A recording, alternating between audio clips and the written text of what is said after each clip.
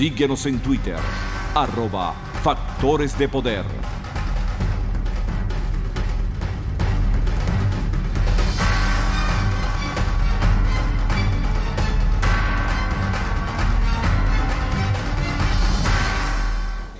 Regresamos con Agárrate.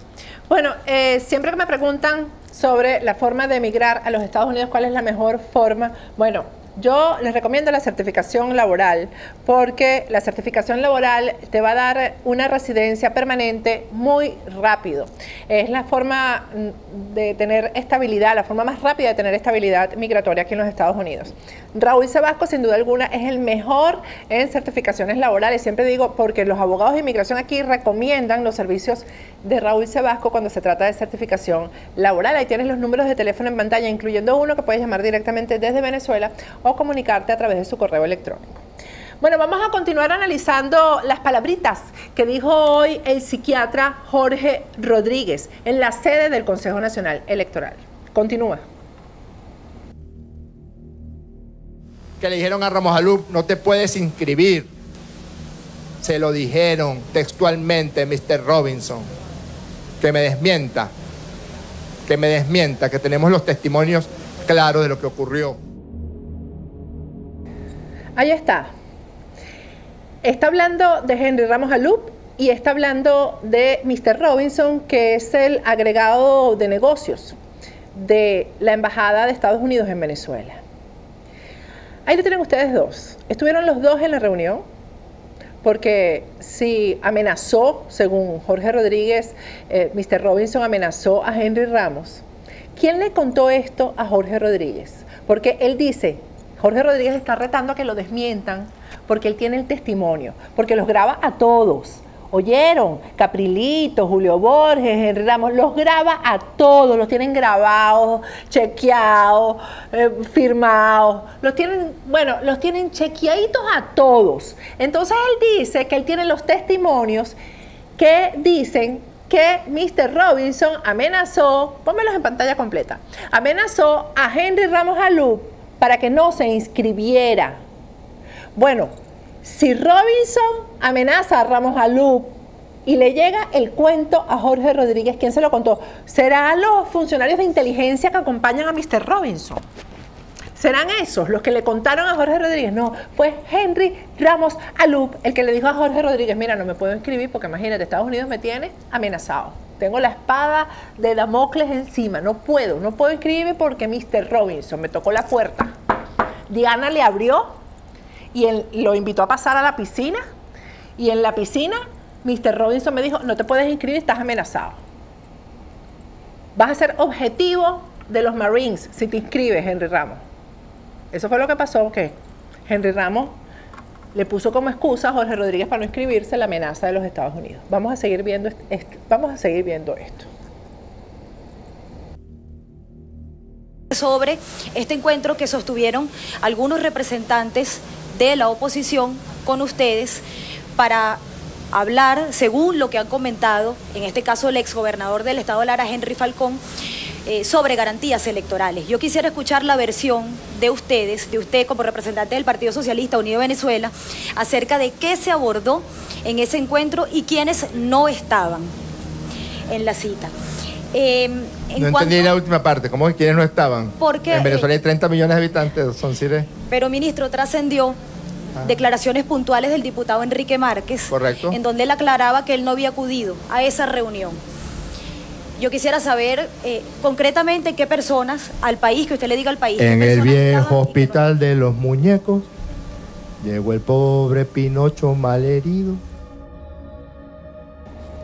Bueno, para esa canción no la identifican quienes no tienen 50 años como Jorge Rodríguez y yo, por ejemplo. Esa la cantaba Luis Aguilé, es la canción de Pinocho. Le está diciendo mentiroso a Enrique Márquez, porque Enrique Márquez dice que no estuvo en esa reunión y sí estuvo. Y ustedes saben, porque por ahí hay un tipo en el Twitter que me pone, ay, sí, entonces vamos a creerle a Jorge Rodríguez. Sí, porque ustedes saben qué, que ellos dicen la verdad cuando les conviene tirar para la calle a quienes han tenido al lado, ¿verdad? Pasándoles la mano para, que, para negociar, para ellos permanecer en el poder. Eso es, así se trata a los vasallos. A los vasallos se les trata así, se les humilla permanentemente y cuando intentan rebelarse, pues les cae esto, que les está cayendo a todos estos bichitos que se estuvieron reuniendo hasta antier, hasta antier, y ustedes van a ver por qué les digo hasta antier. Sigue. Sí nos reunimos en varias oportunidades.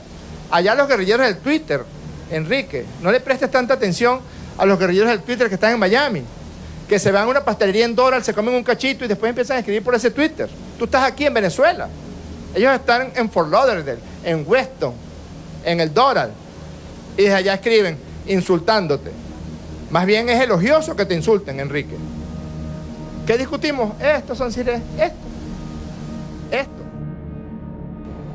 Ahí ustedes saben que yo no sé si es con Enrique Márquez o con Enrique Capriles, pero los dos Enrique parece que los han insultado. Bueno, no solamente desde Miami ni desde el Doral. Desde donde sí no reciben insultos, los que negocian con el gobierno, es desde México, donde están los hijitos de Jorge Rodríguez. Desde ahí sí no salen insultos. Desde las universidades millonarias que está pagando el pueblo venezolano a los hijos de Jorge Rodríguez. Desde ahí sí no salen los insultos para los Enríquez. Vamos a seguir oyendo.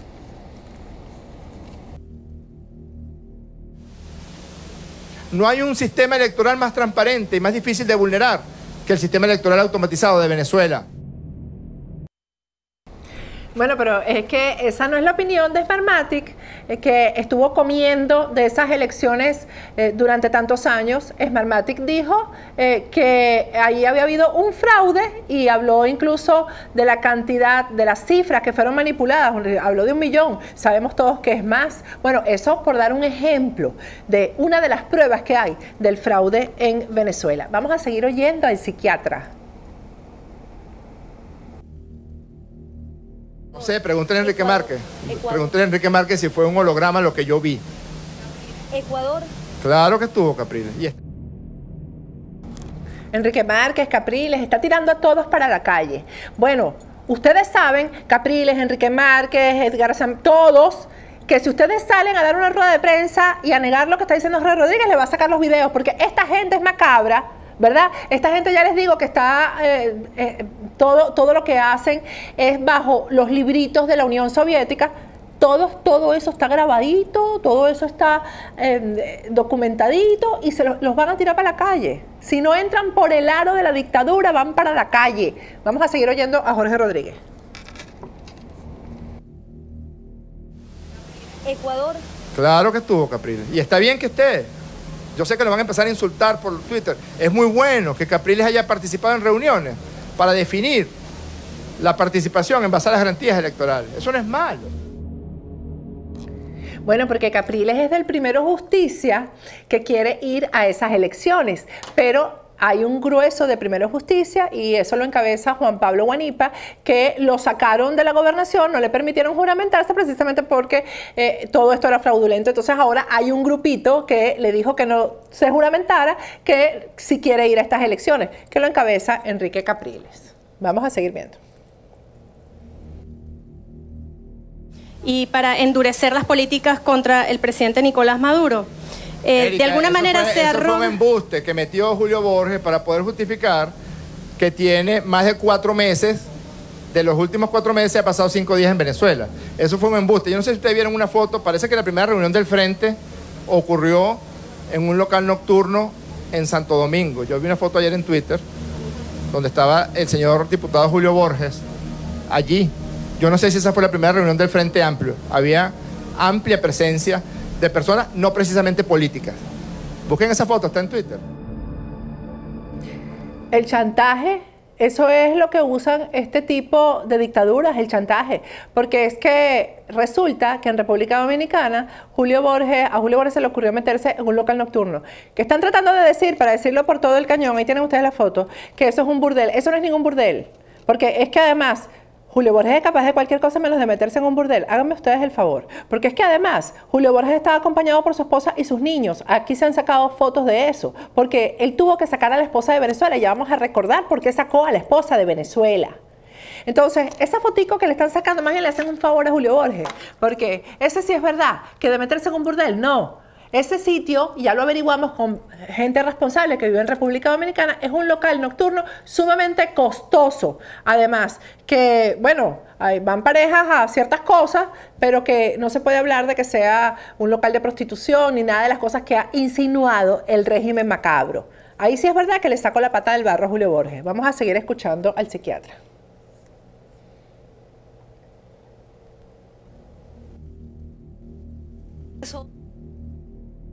La valentía no está en las gónadas, Julio Borges está aquí, ¿ves?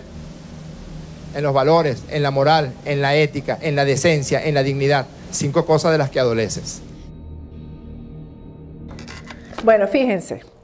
Eh, cuando mm, Julio Borges decidió que no iba a firmar el acuerdo, yo dije algo en este programa que quiero recordárselos ahora, que hoy, además, eh, eso eh, que, queda prácticamente probado con la forma en que Jorge Rodríguez se ha dirigido a Julio Borges y con la forma en que Jorge Rodríguez se dirige a la otra dirigencia de la oposición que está loca por entrar en ese acuerdo y que está encabezada por Henry Ramos Alú.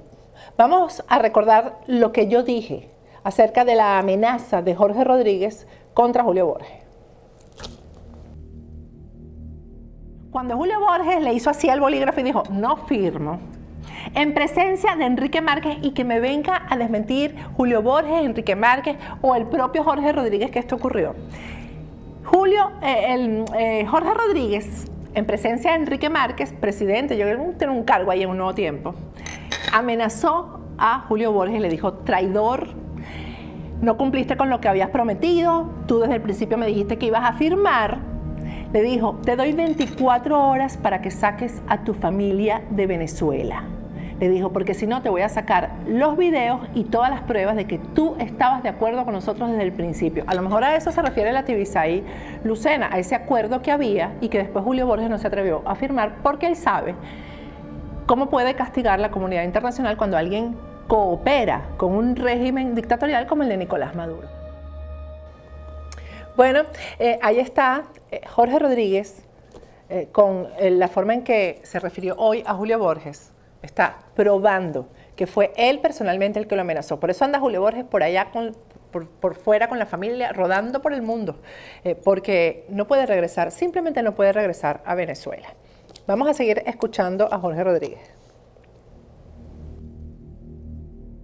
¿Qué van a decir ahora? Que Henry Falcón es chavista.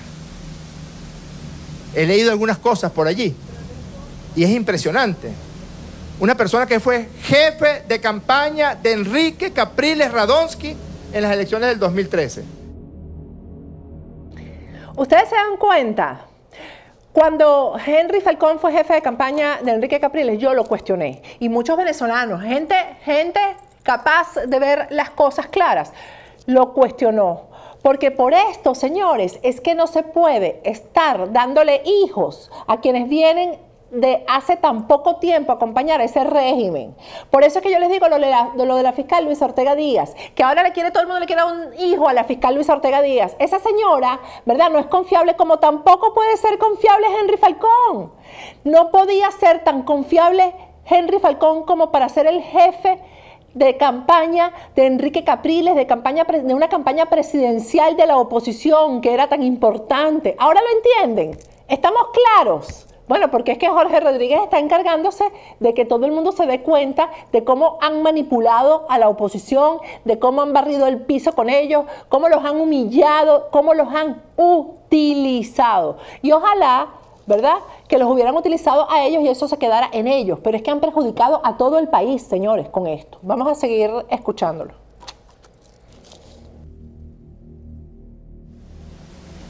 A Ramos Alú le dijeron que no podía inscribirse. Esa es la verdad. Sería interesante preguntarle a la gobernadora del estado Táchira, al gobernador del estado Anzuategui, al gobernador del estado Mérida y al gobernador del estado Nueva Esparta de Acción Democrática si no van a postular candidatos a diputados en los consejos legislativos estadales y candidatos a concejales en los consejos municipales.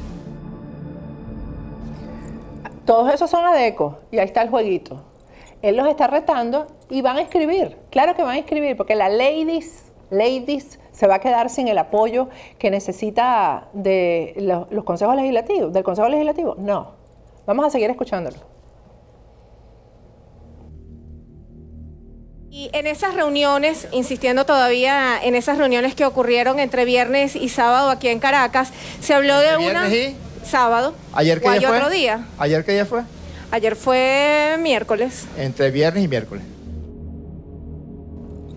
¿Ayer qué día fue? Esto fue hasta ayer que se estuvieron reuniendo. Y este señor que está ahí, el papel que ha jugado durante toda esta intervención, que yo le piqué en pedacitos aquí, es diciéndoles, todavía están a tiempo, bajen la cabeza, vengan para acá. El único que él sabe que no va a venir para acá porque está amenazadísimo fuera del país es Julio Borges, pero a todos le está diciendo, vénganse para acá. Vamos a seguir viendo. ¿Qué pasó si en esa reunión acudieron representantes de Un Nuevo Tiempo, Acción Democrática y Primero Justicia? ¿Qué Y pasó? voluntad popular. ¿Quién, y si pudiese especificar quién estuvo por voluntad popular, por favor. Este, No ¿qué- me, sé, no me sé el nombre, creo que el apellido es Marrero. Un señor que es evangélico, que fue secretario de la Asamblea Nacional. El apellido es Marrero y el nombre es Roberto, denunciado aquí en este programa también como colaboracionista. Él, él, que déjenme decirles que en muchas oportunidades no actúa en nombre de Voluntad Popular, sino que anda a la libre. Por eso es que hay que decirle a los jefes de Voluntad Popular que le salgan al paso esta declaración y expliquen por qué Roberto Marrero estaba en esas reuniones, en las que estuvo tal cual, como lo dijo eh, este señor, Un Nuevo Tiempo, Acción Democrática, todos, Primero Justicia, todos. Vamos a seguir escuchando. Mire, respecto a la fecha, en efecto, una de las preocupaciones más importantes que tenía la oposición, estos sectores de la oposición, realmente no sé cómo llamarlo, es la necesidad de ellos mismos ponerse de acuerdo para buscar un candidato. Nosotros ya tenemos el nuestro, nosotros ya tenemos nuestro gallo, lo inscribimos el martes 27 de febrero. En ese sentido, nosotros que en principio planteábamos hacer las elecciones presidenciales en el mes de marzo, así fue la fecha que llevamos a República Dominicana, la oposición venezolana dijo que marzo no, que marzo no, y nos pidió el mes de abril. Ellos habían propuesto primero junio, buscamos una fecha que acercara marzo con junio, y nos dio el mes de abril, por cierto, el día natalicio de Vladimir Ilich Ulyanov, Lenin perdón, habíamos acordado ante una fecha previa de abril y nos pidieron por intermediación del expresidente del gobierno español, José Luis Rodríguez Zapatero, y del presidente de República Dominicana, a quien siempre le agradeceremos los gestos, la actitud, la constancia en el trabajo por la paz en Venezuela, por intermedio de, estas dos personalidades nos pidieron que aceptáramos el 22 de abril como fecha de las elecciones. Nuestro candidato dijo, sí, Sí, les voy a ganar en marzo, les voy a ganar en abril y les voy a ganar en mayo. No hay rollo. Dale. Y cuando fuimos a firmar, porque íbamos a República Dominicana para firmar, el señor Julio Borges, después ya se está empezando a, ya está empezando a aparecer a la luz qué cosas hacía Julio Borges, además de hablar por teléfono con Colombia. Hay una foto en Twitter, busquen, pongan Borges, Santo Domingo. ¡Ping! Sale la foto de la primera reunión del llamado Frente Amplio. Allí, habíamos acordado el 22 de abril, la llamada a Borges impidió que ese sector firmara y luego, bueno, nosotros dijimos, está bien, firmamos el acuerdo, ese acuerdo está todo, si lo lees, están todas las garantías. Aquí solamente cambia lo correspondiente a la fecha y algunos elementos, digamos, de especificidad mayor. Pero revisa el, acuerdo dominicana con respecto a este acuerdo. Este acuerdo lo que hace es proponer una nueva fecha y especificar más algunos de los puntos. En lo demás, era algo en lo que ya estamos todos de acuerdo. En efecto, esas reuniones han estado suscitándose. Creo que es adecuado que el pueblo de Venezuela lo sepa. Ya lo dijo Luis Aquiles Moreno, lo dijo el día de ayer Luis Aquiles Moreno. También creo que lo mencionó el, el candidato Henry Falcón, que esas reuniones se estaban dando. No sé por qué Enrique Maestre dice lo que dijo. Me preocupa un poco a los efectos de, de la memoria reciente. Pareciera que tuviera una amnesia lacunar. Eso es un síntoma preocupante. Pero bueno, allá él. Bueno, varias cositas de atrás hacia adelante. Él habla de Enrique Mestre, que no se llama Enrique Mestre, sino Enrique Martes, y habla de que Enrique Mestre tiene amnesia no sé qué cosa, y no le entendí la cosa, el- la palabra eh, médica específica, no se la entendí, pero él dice que es, el que sufre es Enrique Márquez. Es Enrique Márquez, no Enrique Mestre. O sea que ahí hay alguien que tiene amnesia y no es exactamente Enrique Márquez. Pero además, eh, bueno, ahí trata de dar una demostración de cultura cuando habla de Lenin, eh, de la fecha de nacimiento de Lenin, eso es para demostrar de verdad que es culto. Pero hace la cronología completa de la reunidera, de lo que ahí se habló, todo, los tiene, como les digo, bueno, fotografiados, los tiene fotografiados. Y todo eso va a salir. Y esto es parte del chantaje para que terminen de inscribirse, para que no, para que el régimen no les saque todas las pruebas que tienen y queden absolutamente desacreditados frente a la opinión pública. Vamos a ir a un corte para eh, analizar en el tercer segmento la parte final de esta intervención hoy tan importante de Jorge Rodríguez. Ya regresamos.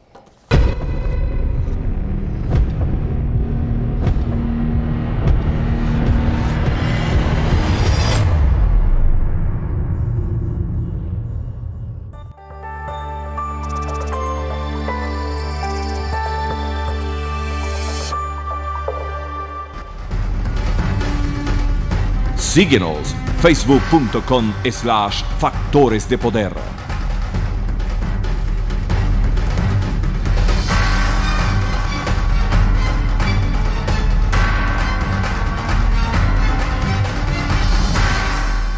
Regresamos con Agárrate. ¿Necesitas dinero en efectivo? Yo creo que todo el mundo necesita dinero en efectivo. Bueno, para pagar una deuda, para pagar las tarjetas, para pagar una operación que no te cubre el seguro, para empezar un negocio nuevo, una empresa. Bueno, para todo eso se necesita dinero en efectivo. Global Enterprise te ayuda a conseguir dinero en efectivo. Bien rápido. Si tienes Social Security o residencia aquí en Estados Unidos, bueno, ellos te consiguen eso rapidísimo, pero a lo mejor no tienes ninguna de las dos cosas, pero tienes una propiedad. ¿Cuánta gente no tiene propiedad aquí en los Estados Unidos a pesar de que no es residente? Con eso también vas a conseguir el dinero de verdad muy rápido, me consta. Bueno, eh, vamos a continuar analizando esta intervención irregular, ilegal de Jorge Rodríguez en la sede del Consejo Nacional Electoral, porque se supone, según la ley electoral, que eh, ahí no pueden eh, ocupar ese espacio por tanto tiempo para dar una rueda de prensa, para hacer proselitismo, una de las partes en una contienda electoral. Pero ahí, como Jorge Rodríguez no solamente es el dueño del sistema electoral en Venezuela, la mente macabra que creó ese sistema electoral para que permaneciera en el poder eternamente el chavismo, sino que además es el dueño de Tibisay y Lucena, de Úrsula y eh, además eh, es el que, mm, bueno, el que tiene la misión, señores, la misión de someter a el sector de la oposición que tanto hemos cuestionado para que se meta en el juego electoral y les lave la cara, porque a ellos no les es suficiente Henry Falcón. No les es suficiente, porque Henry Falcón se sabe que es una ficha del gobierno. Vamos a seguir escuchándolo, eh, escuchando lo que dijo hoy Jorge Rodríguez. Julio Borges va a los sitios que va y nosotros no.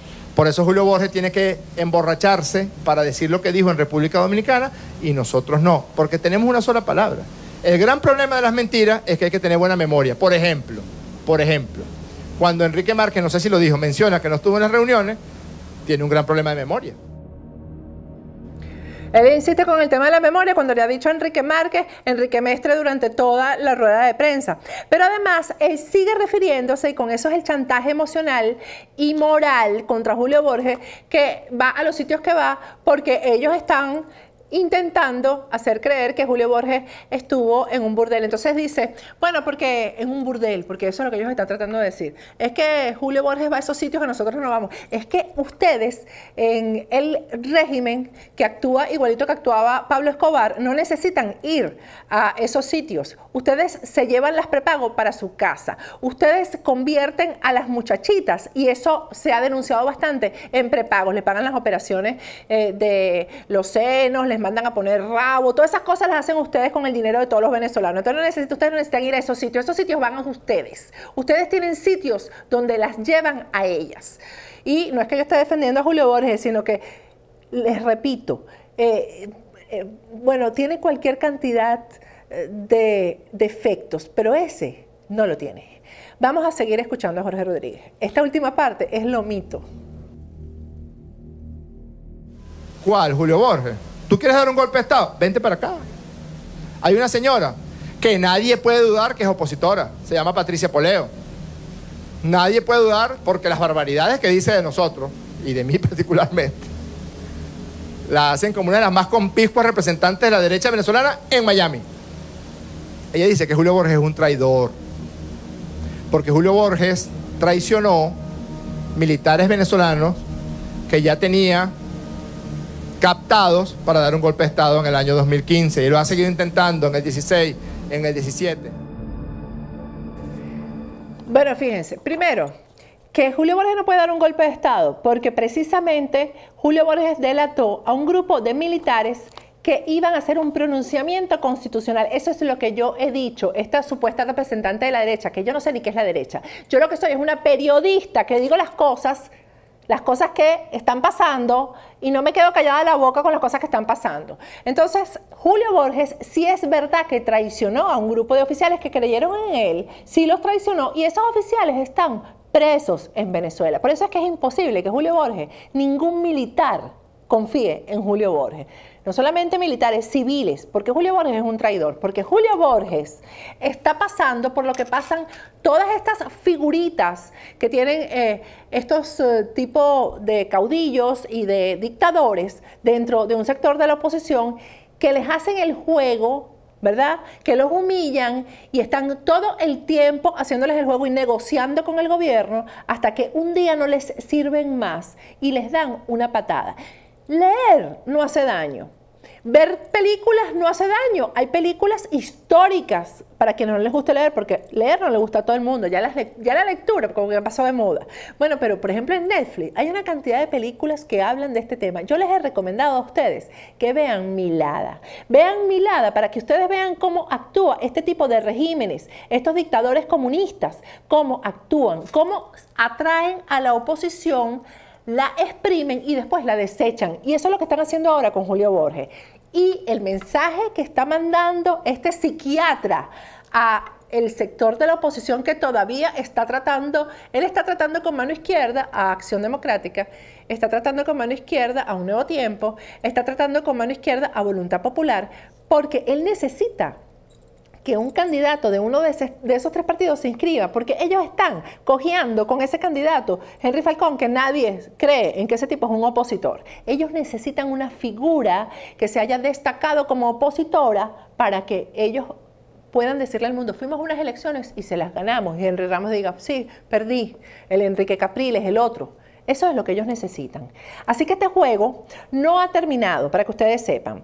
Este juego está abierto y él Jorge Rodríguez, el macabro ese, dejó el juego abierto para que los que quieran seguir jugando se sumen y sigan eh, refrendando y legitimando a este régimen comunista. Así que mosca, porque cada cosita que veamos y cada... Hay, esto hay que analizarlo y todo hay que leerlo entre líneas, señores. Esta intervención de Jorge Rodríguez, además, lo que le ha dicho al mundo es, nosotros vamos a legitimarnos como sea y nosotros vamos a reelegir a Maduro como sea. Así que, eh, más que una traición, eh, eh, más, que, más que una traición, inscribirse en, en, esas elecciones ya termina convirtiéndose en un crimen.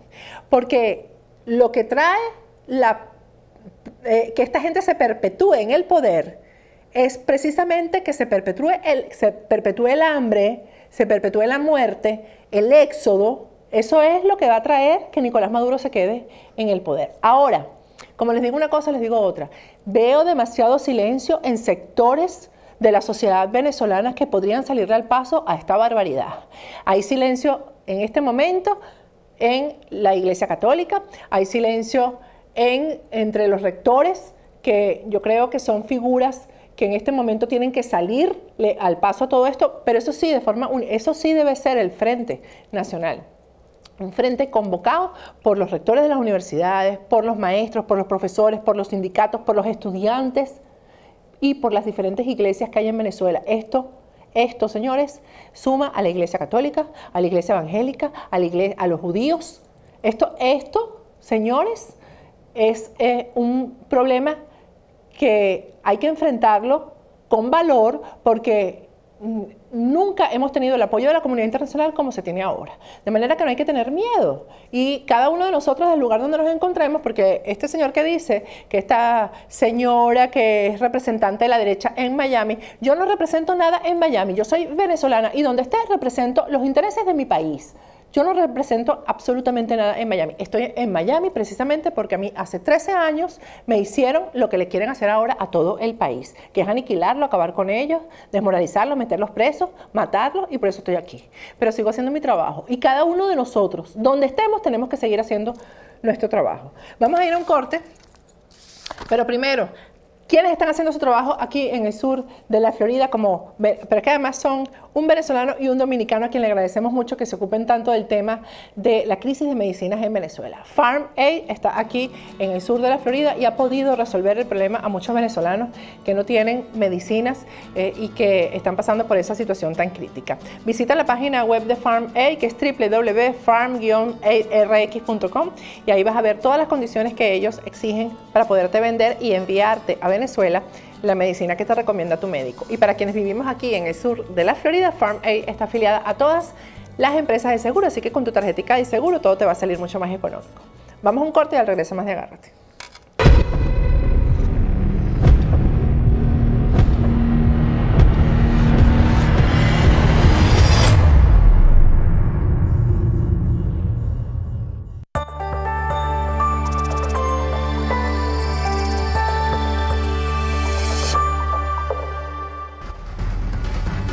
Suscríbete en nuestro canal de YouTube, activa las notificaciones y mantente informado.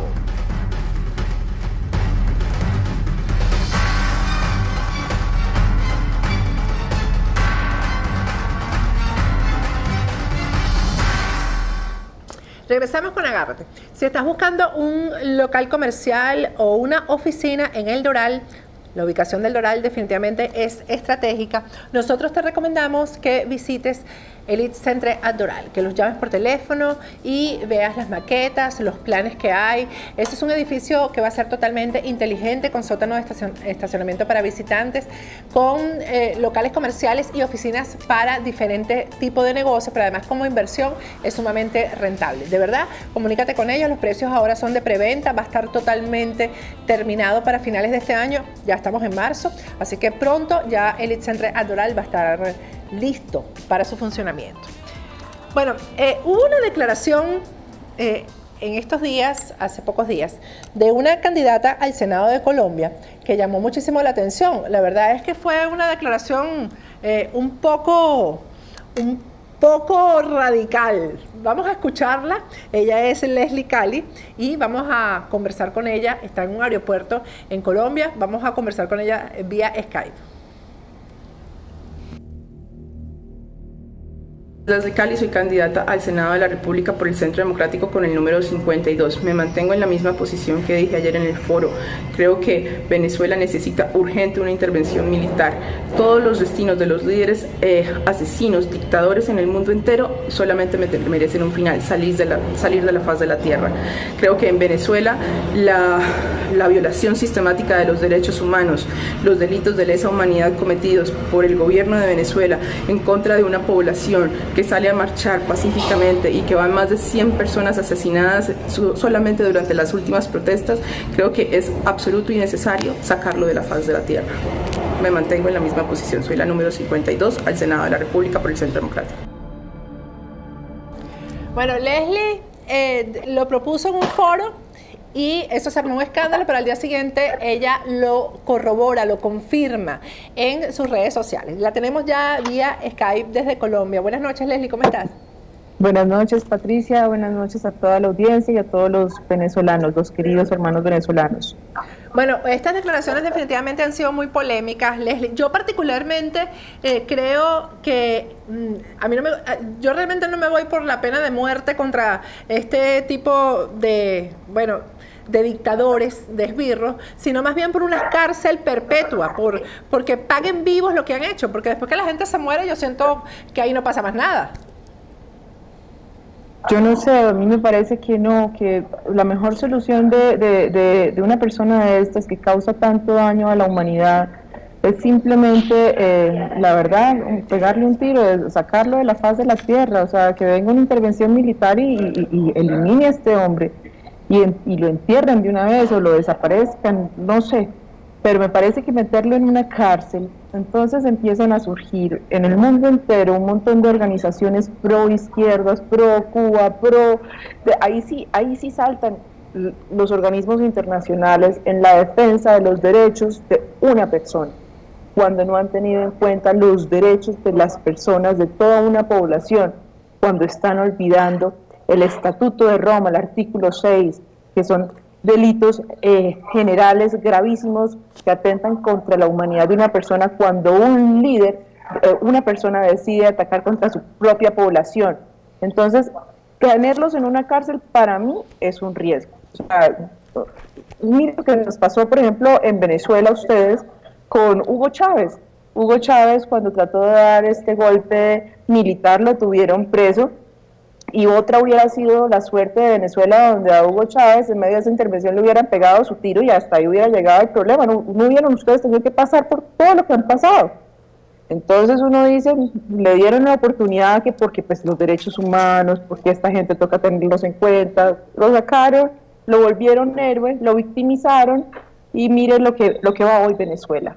Hoy Venezuela, más de dos millones de personas se espera que finalizando el año salgan desesperadamente de Venezuela. Me dice una, una señora en una calle que pesa 35 kilos, Patricia, mide 1,68 centímetros, casi que mi estatura, un poco menos, pero pesa 35 kilos se le ve la cara, eh, el reflejo de los venezolanos en las calles colombianas es una cara de hambre, es una cara como las imágenes que uno veía de la Segunda Guerra Mundial, los pómulos totalmente salidos, la imagen calavérica, o sea, es una cosa, una locura. Y me dice ella, le pregunté, ¿cuándo empezó la crisis más cruda en Venezuela? Y me dice, la crisis más cruda empezó hace cuatro meses mira que hace cuatro meses ya de verdad fue imposible y yo sentía mucha impotencia cuando iba a mi trabajo, trabajaba de sol a sol y regresaba y quería comerme un pan y no podía, no podía porque el salario mínimo venezolano es algo menos de un millón de bolívares y una, una bolsa de arroz costaba 200 mil bolívares. Y su mamá todas las noches le dice, todas las tardes le dice a ella que ella que no daría por comerse una galleta con un café y cosas como tan que son para nosotros que uno no se da cuenta en una ciudad porque estamos bien, porque tenemos acceso a comida, pero son cosas tan mínimas que me dice ella, yo no gano mucho, yo, yo vendo obleas que cuestan como decir, no sé, 40 eh, centavos de dólar, eh, vende obleas, dos, tres obleas al día y me dice, y yo como y la gente me da comida y yo lloro cada vez que como pensando en mi familia que no tiene con qué comer porque por más de que yo le mande así consiga plata, dinero, mando dinero a Venezuela, ya no se consigue dinero en Venezuela. Y me dice Leslie, y lo peor de todo es que la gente ya parece zombie, caminando en la tarde. O sea, la gente ya no sale. Son, son ciudades fantasmales, tipo después de las 4 de la tarde, no hay transporte público. Me dice, dejé mi carro allá en Venezuela parqueado porque no hay para repuestos, no hay para nada, o sea, no se consigue nada. ¿Qué está esperando el mundo? ¿Qué está esperando la Organización Internacional de Naciones Unidas, que está esperando eh, los organismos internacionales, los líderes de Estado.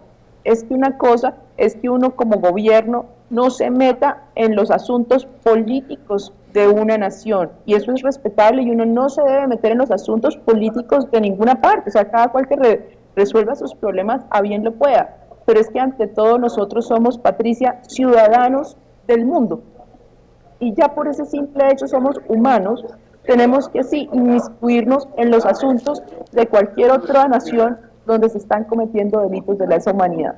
Porque si uno no le para bolas a eso, uno es una persona miserable como persona. O sea, uno no, no debería hacer nada, pagar y irse de este mundo también. Porque si uno no se preocupa por una tragedia humanitaria como la que está ocurriendo en Venezuela, yo no sé, yo, yo no, no sé si haya vida más allá de la muerte, no sé si hay un Dios, no sé muchas cosas, pero yo, yo creo que hay un Dios más allá y que algún día si yo me muero me van a pasar cuenta por las cosas que yo hubiera podido hacer y no hice, por los pronunciamientos que yo hubiera podido hacer y no hice, a pesar de que los estaba sintiendo con el corazón y que me estaban doliendo. Leslie, eh, bueno, eh, hay que eh, explicarle a la gente porque tú estás muy clara en lo que está pasando en Venezuela. Parece que estuvieras allá adentro en Venezuela. Y estás muy clara de quiénes son los que están manejando el Estado en Venezuela, qué tipo de grupos son, ¿no? Y hay que Mira, yo, hay una cosa que yo veo de Nicolás Maduro, y a mí este, este tipo me parece un títere, me parece que el tipo no tiene una capacidad mental muy, muy, muy avanzada, me parece que es como medio idiota, y el hombre me parece que es manejado por unos hilos quisiera saber, unas personas me dicen que pues, detrás de él está un hilo siniestro que se llama Diosdado Cabello.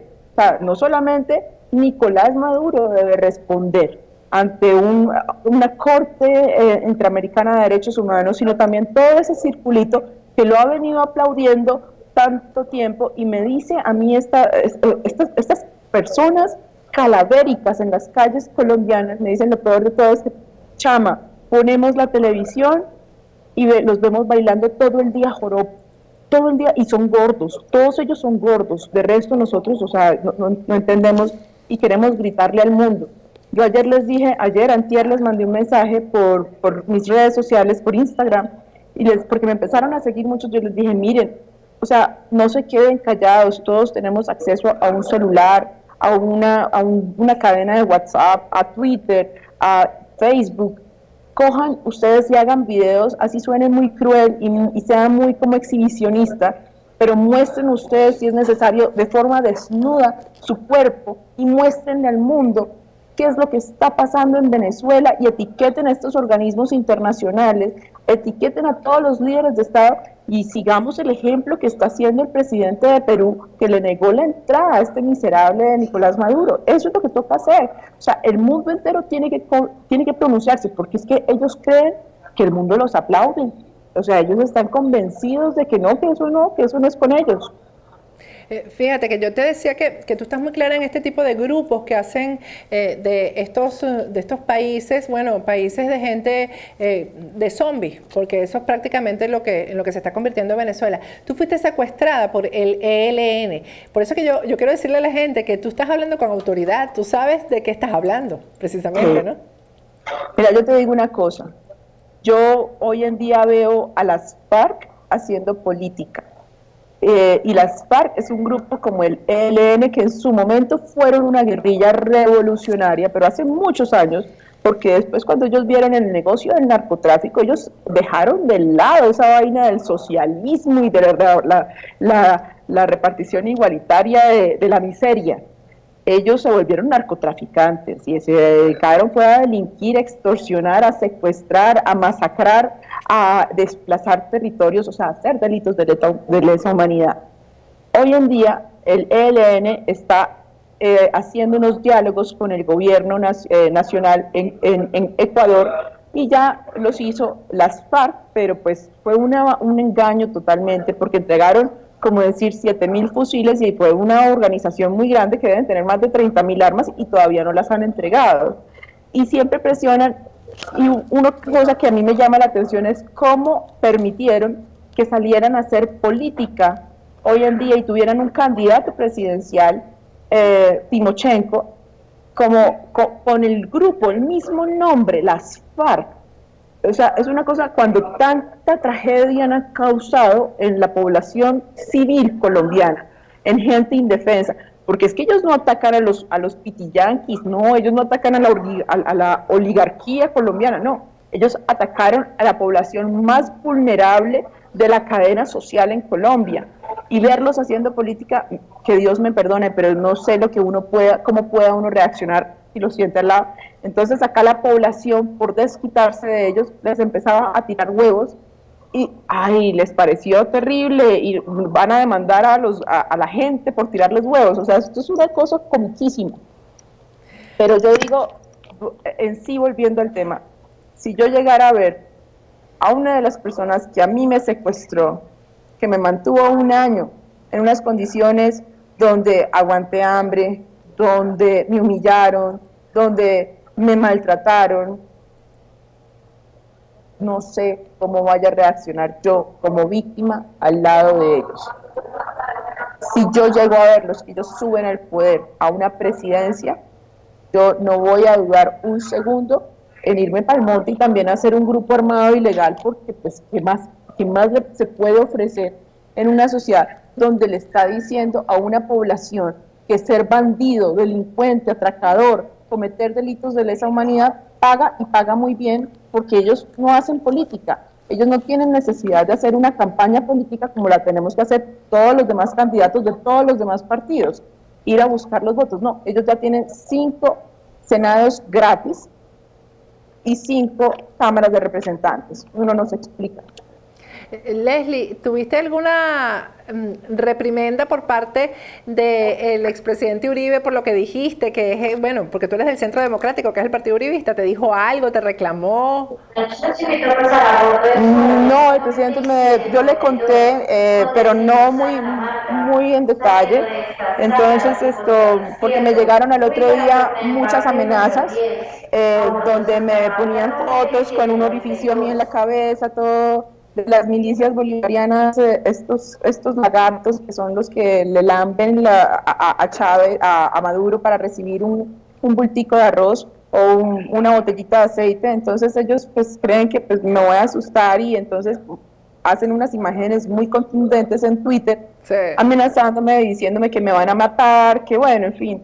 Em, y, y, él se enteró de esto y me dijo, eh, hija, cuídate, ponte en contacto con la policía y cuéntales lo, lo que estas amenazas. Le decía, sí, lo voy a hacer, señor presidente, gracias, y ya, eso fue todo.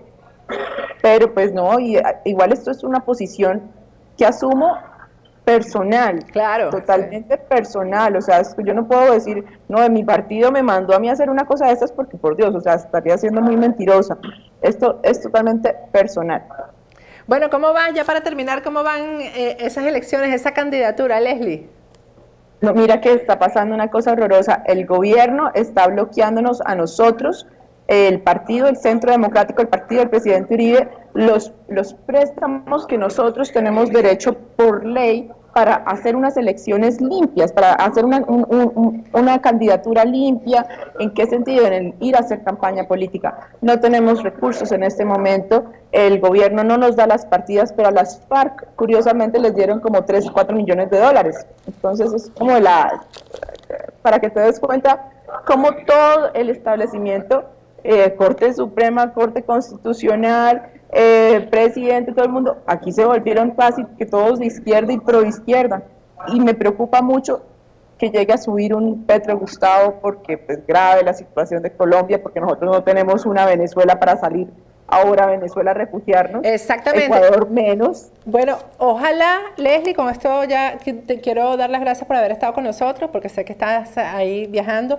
Eh, ojalá que la presencia que hay de tantos venezolanos allá en Colombia, mostrando esos cuerpos famélicos de los que tú hablas y esas historias tan tristes, ojalá sirvan para abrir los ojos a los colombianos y que no caigan en el mismo error, porque entonces van a terminar como cada uno de esos venezolanos que anda vagando por las calles de Colombia, lamentablemente vendiendo cosas, eh, sirviendo de buhoneros, etcétera, y otras cosas lamentables que están ocurriendo. Así que ojalá que eso para algo sirva.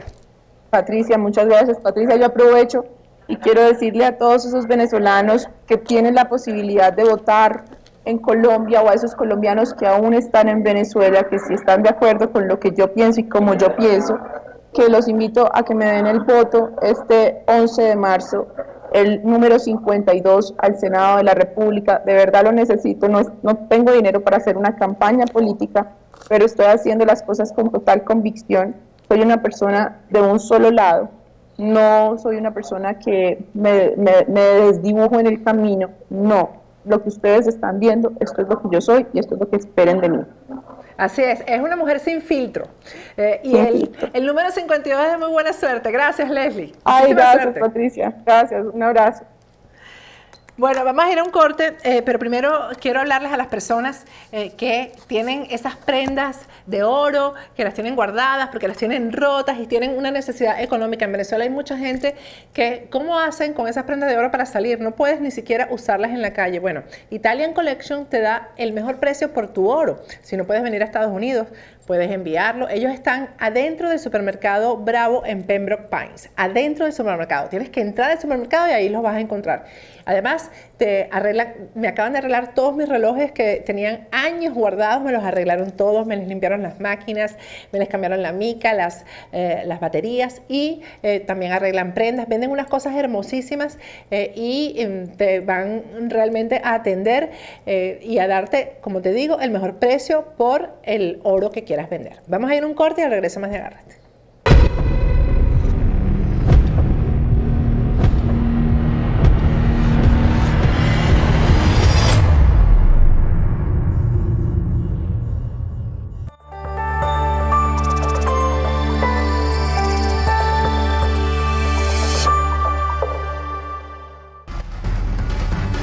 Suscríbete en nuestro canal de YouTube, activa las notificaciones y mantente informado. Gustaría abrir un canal de YouTube, pero no entiendes muy bien cómo funciona la plataforma de distribución. Tienes muy buenas ideas, pero te cuesta aterrizarlas y adaptarlas a esta plataforma para sacar el máximo provecho de ella. No te preocupes. Los amigos de Factores de Poder, que son partners de YouTube junto con Tramoyero Films, han conceptualizado un taller de YouTube 101 en este workshop, que va desde las 9 de la mañana hasta las 5 de la tarde, el 10 de marzo, te vamos a dar todas las herramientas para poder generar tu canal de YouTube. Desde conceptualizar, producir, postproducir y por supuesto distribuir de la manera más óptima el contenido que vayas a crear. ¿Quieres más información? Aquí abajo, en el link del video, te vamos a dejar todo. Son cupos limitados, así que no te lo pierdas.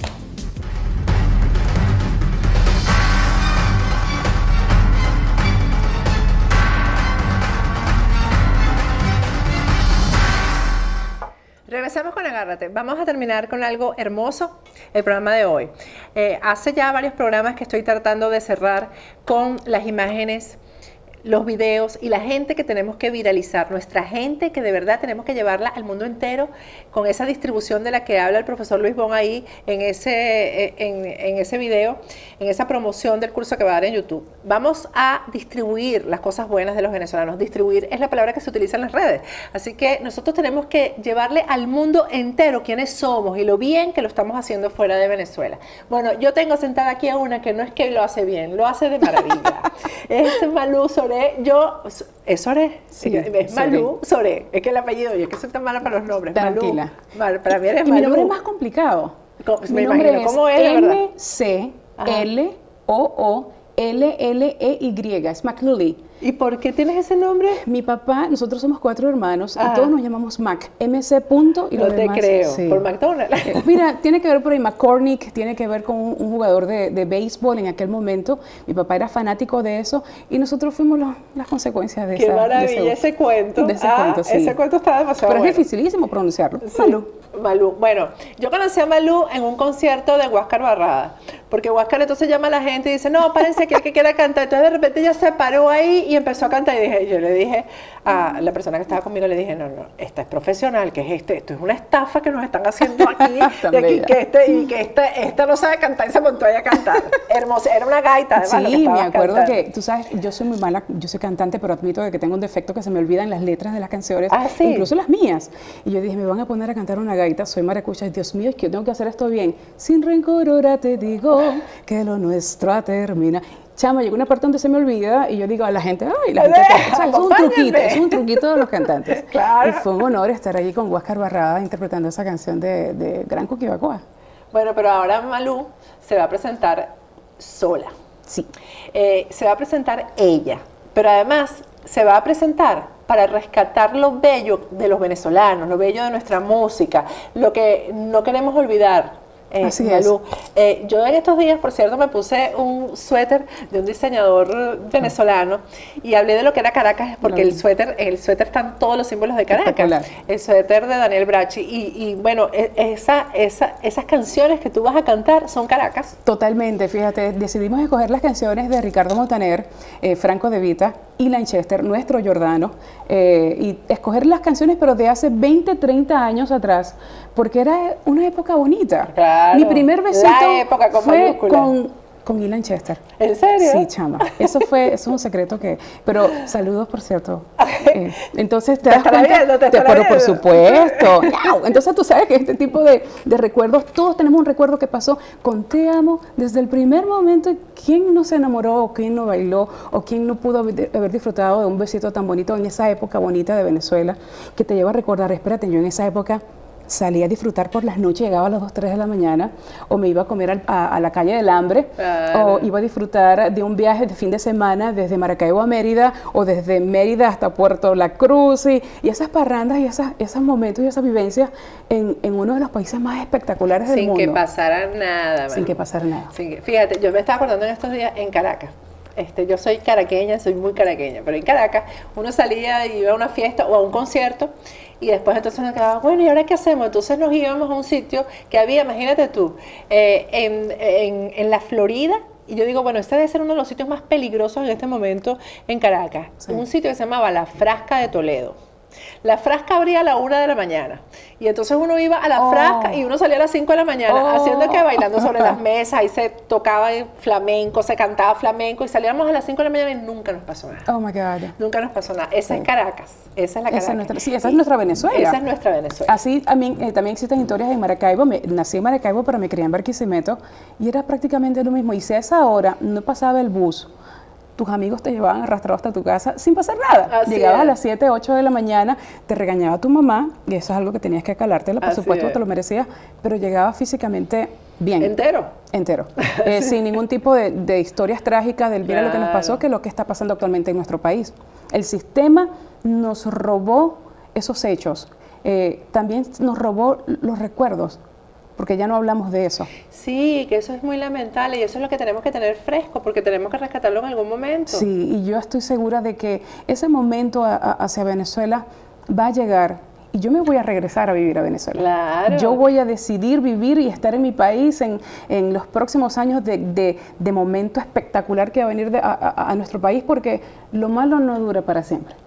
Lo malo no dura para siempre. Yo soy una de las personas que quiere agregar un bloque para reconstruir a mi país. Entonces eso es lo que yo quiero en este fin de semana dar a conocer con mi música, con la música que eh, estoy trayendo acá a la ciudad de Miami y es recordar a Venezuela y el, el- el proyecto se llama Tu aroma en mi piel, por la canción Llevo tu luz y tu aroma en mi piel y el cuatro en el corazón. Yo tengo, tengo ya 10 18 años acá en Miami, pero yo soy maracucha rajá, ¿Tú barquisimetana. comes en Piemonte? Sí. Porque, ah, el, el- el que es maracucho no come en Piemonte, Sí, imagínate. sí, es porque de repente se crió en otro estado. Sí, eh, es, eh, es, yo estoy clara en, eh, si yo como artista debo hacer un aporte y en este momento yo tengo que tener un micrófono en la mano para decir que necesitamos una ayuda en Venezuela. Eh, necesitamos que la gente sepa de que mi país en este momento está bajo la categoría de ser uno de los peores países del mundo por el sistema narco. ¿Qué palabras podemos agregarle a narco? El narcoestado, el Sí. narcoterrorismo. Aquí, ¿se pueden decir malas palabras o no se pueden decir Todo malas lo que tú palabras? quieras. mi Sí, amor. aquí no hay tú dices, aquí no hay pi ni nada, ni ok. nada de esas cosas. Bueno, todos los narcos que se les pueda ocurrir a, a- a este tipo de personas que están manejando nuestro país, que nos robaron. Nos robaron nuestro eh, eh, dinero, eh, nuestros recursos, eh, nuestros recuerdos, nuestra educación. Ya en Venezuela no existe ni el buenos días ni el buenas tardes. Ha entrado en, nuestra sociedad el egoísmo por porque no tenemos nada. No hay nada. Yo tengo familias en Barquisimeto, en Cabimas, en Maracaibo, en, Caro- en Carora, en Caracas, en Valencia, en Puerto Ordaz, en Puerto La Cruz. No hay nada. Está la gente comiendo rata, está la gente comiendo iguana. Eh, estoy escuchando últimamente noticias que ni siquiera quiero compartirlas al aire porque son tan trágicas No, para poder veces- subsistir. Yo me siento hasta egoísta, Malu, de- porque veo cosas y a veces quito las imágenes porque no puedo, no puedo llegar hasta el final de las historias. Y eso, eso es terrible porque tenemos que enfrentarnos con nuestras historias para saber lo Sí. que está pasando en Venezuela, sobre Sí. todo los que somos periodistas, ¿no? Sí. Mira, algo que me tiene devastada y algunos miran a criticar es el, el tema de los animales en Venezuela, de las mascotas y de los animales salvajes de las- de- que están en, en, en los zoológicos. zoológicos, sí. Se están muriendo de hambre. Sí. Y, no Sí. hay quien los atiende. ¿Quién los va a atender? No, no hay. Ya la prioridad yo creo que de cada familia en este momento se ha tornado tan egoísta y lo comprendemos por el mismo sistema, es de que en este momento me importa es mi hijo porque Claro, no tiene lógico, nada y que es comer. lógico, sí, y esto es definitivamente por habernos equivocado, de haber colocado a un sistema que nos ha traído maldición, una tierra totalmente seca, pero lo malo no dura para siempre. Amén. No dura, no dura, es que no puede, no puede durar. Y entonces la idea mía con mi música es nuevamente volver a soñar, ¿por qué no? Volver a soñar con que seremos un país espectacular, no por las elecciones que vienen que son totalmente fraudulentas, Así es. eh, eh, sino porque es que lo malo no dura para siempre. Aquí tiene que existir una intervención divina. Venezuela le llegó la hora de creer que Dios es el único que puede sacar a Venezuela del caos donde está. ¿Cómo lo va a hacer? Yo no lo sé. De verdad no tengo la menor idea. Pero lo va a hacer de una manera tan sorprendente que yo estoy segura, Patricia, que muchos van a anhelar vivir nuevamente en Venezuela porque la, vamos a rescatar. Venezuela va a despertar. Creo que van a ser una, una nueva Venezuela y, y yo creo que estamos en un momento de parto. Así es, bueno, y yo siempre he dicho que esto, esto es una lucha espiritual más que otra cosa. Sí. y, y, el, espíritu hay que mantenerlo fuerte eh, frente a los intentos que hay por desmoralizarnos, sobre todo por desmoralizarnos, por eh, ese intento de decirnos, váyanse porque aquí no hay nada que hacer, aquí esto es de nosotros y no de ustedes y nosotros vamos a hacer con este país lo que queramos, nosotros tenemos que mantenernos firmes, firmes en nuestra convicción emocional, religiosa, de que estamos del lado del bien y el bien tiene que triunfar siempre sobre el mal. Yo creo definitivamente que es así. Eh, yo tengo mis principios cristianos. Eh, yo hice una canción que se llama Le lloré a los santos. Está en todas las plataformas digitales. Es una canción donde yo invito a, no a ninguna religión, porque no creo en ninguna de ellas. Creo que es la hora de mirar a Jesús de Nazaret como la única alternativa. Si es el único que Dios que todo lo puede, entonces ¿por qué voy a ir a otro? Si los demás no han podido sacarnos de donde estamos, yo creo que es una oportunidad de en estos momentos mirar al cielo y decir, haz algo por mí. Y Él lo va a hacer porque eso es Dios. Dios es tan espectacular. Dios es un Dios genial, un Dios maravilloso. Y creo que Venezuela se equivocó en, primero en elegir este sistema totalmente dictatorial eh, que nos ha robado y he aquí las consecuencias. Eh, creo que se equivocó en buscar a otros dioses ajenos que nos trajo este mismo sistema. se equivocaron, o sea, nos equivocamos en, en permitir eso en nuestro país y hay aquí las consecuencias. Eso es como cuando elegimos una pareja equivocada nos equivocamos y vivimos unas consecuencias por haber elegido la pareja equivocada. Así sucede cuando elegimos el Dios equivocado. Y creo que llegó la hora a mi país de decirle, Jesús de Nazaret es algo y lo va a hacer. Él no lo hace los 25 de diciembre, Él lo hace todos los días. Y es una oportunidad que creo que tenemos para convertirnos en un país próspero. Dice la Biblia, y perdona que te haga eh, acotación a esto, porque creo en ello, que dice, el país que considera a Dios como el único Dios es tres veces feliz tres veces feliz. Entonces es algo que yo creo y, y quiere que yo me presente, tengo que decirlo. Claro. Existe esa esperanza para mi país. No creo que exista en un partido político o algún candidato presidencial. Yo más bien creo que esto es una oportunidad para el pueblo decidir con inteligencia eh, qué es lo que tiene que pasar en los próximos días. Y, mira, te, insisto, aquí es solamente un milagro. Un, milagro. pero yo estoy segura eh, que Tú sabes, yo siempre digo que uno hace planes y Dios se ríe. está bueno. De manera que este, Dios, Dios está, eh, va a estar por delante en todas estas cosas, pero eso sí, tenemos que mantener la fe y cada uno luchar desde donde estemos. Malu se va a presentar el sábado en Capri Club a partir de las nueve y media de la noche. Cuéntame, eh, vas a estar acompañada por varios músicos, me dijiste. Sí, tengo ocho músicos en escenario. Eso va a estar muy bueno. Espectacular. Yo que la voy cantando les digo que eso va a estar muy bueno. Mira, sí, no, de verdad, va a estar muy, eh, muy emotivo porque vamos a hablar de esas épocas bonitas cuando, cuando estaba Ilan Chester cantando, por ejemplo, eh, y es que la vamos a pasar muy bien, o Franco De Vita cuando cantaba, si me dieran elegir una vez más te elegiría sin pensarlo. O Giordano cuando cantaba Manantial de Corazón. O mm, ah, me falta Ricardo Montaner. Ah, Ricardo Montaner. Lo amé cuando se puso de moda eh, La cima del cielo. Entonces, cantar esas canciones con mis músicos, son ocho músicos en escenario, eh, va a ser de esa noche algo muy emotivo, muy especial, pero quiero que se vaya la gente esperanzados de que lo que está pasando actualmente no es nuestro futuro. Bueno, yo te voy a decir una cosa, ahí, tú sabes que no vas a cantar sola, no te vas a dejar cantar, porque todo el mundo, apenas arranque, todo el mundo se va a pegar. Sí, ya mi hermano me está quitando el protagonismo porque es uno de mis coristas y me está ah, entiendo perfectamente, sí, sí, sí, es así, que muy emotivo. Traten, aguántense un poquito y óiganla, porque es que la voz de ella, de verdad, es una voz de ángel. Muchas gracias. Así que yo sé que es, inevitable que la gente comience, apenas tú arranques, que la gente te acompañe. Sí, yo sé que eso va a estar buenísimo. Espectacular, y estamos finalizando con la canción Venezuela y, te digo, es una época muy dura la que estamos viviendo. Tú lo sabes más que yo, tú tienes mucho más conocimiento que yo, eh, pero no nos pueden robar los sueños. Esa parte no se la vamos a permitir. Esa parte de volver a querer decir, vamos a rescatar lo nuestro. Y somos nosotros los que tenemos que tener la actitud los venezolanos. Y ser en estos momentos en Estados Unidos una plataforma o un eco o un micrófono de que el mundo vea de que necesitamos en estos momentos una ayuda, necesitamos en estos momentos que alguien haga algo por nosotros.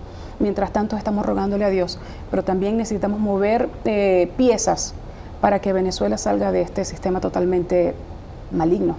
Así sea, gracias Malu por, acompañarme, qué bello, por, por, ayudarme a cerrar este día de hoy Gracias. Eh, y ya saben, esto es lo que hay que viralizar. Es esto, es esta Venezuela la que nosotros tenemos que enviar al mundo entero. Gracias. Gracias a ti, por favor, es un honor. Y mucha suerte, porque bueno, no te la tengo que hacer, eso va a estar buenísimo. Ay, amén. ya saben, a las nueve y media, el sábado en Capri Club, ahí tienen ustedes la promoción. Eh, no se lo vayan a perder. Bueno, yo me despido hasta mañana. Antes quiero mm, recomendarles al mejor estilista del sur de la Florida, también es venezolano, Caloyero Tramonte. Visita la página web de Caloyero, que es www.turred.com Hoy puse una historia, eh, porque hoy me estaba él pintando el pelo, porque no me quiere decir de qué color, no, quiere compartir el color, eh, pero eh, bueno, él dice que en algún momento lo va a revelar cuál es el color.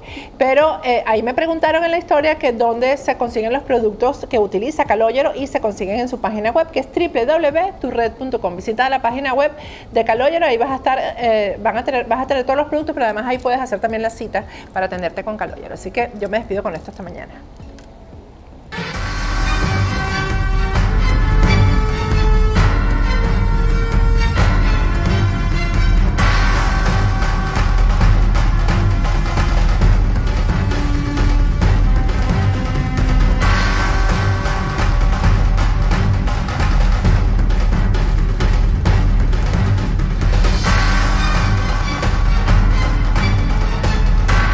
Agárrate con Patricia Poleo. Opinión estremecedora.